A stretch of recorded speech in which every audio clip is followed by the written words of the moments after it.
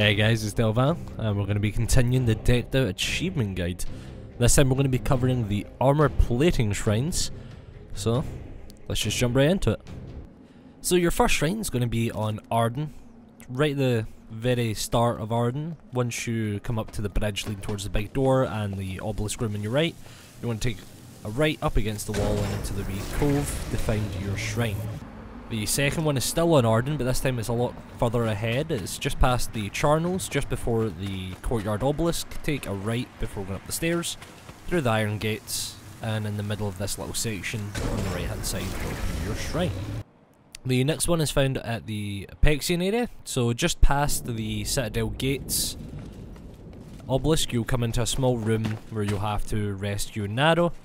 On the left hand side of the room, just by the stairs in which you need to go up to reach Naro. On the right side, against the wall, you'll find your shrine.